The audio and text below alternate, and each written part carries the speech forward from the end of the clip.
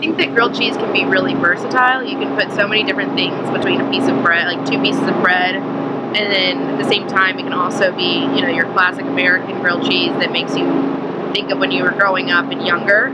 So the versatility of grilled cheese was why I was drawn to it. So I graduated from UT about almost three years ago, and I had had a couple of jobs that were really, you know, they were inside, they were kind of desk jobs, and I've always wanted to own a restaurant and do something in the culinary food world. And I thought that a food truck was a great place for me to be able to be creative and move around and do different things. And so it was kind of my dad's idea to do a food truck. And so figured while I'm young, might as well take a risk and go for it. Plus, do you mind a little mustard on your? Uh, I have uh, loved doing it. It's you know it's always fun. There's always new people trying out the food, and the response has been great to our food, and so I've really enjoyed doing it.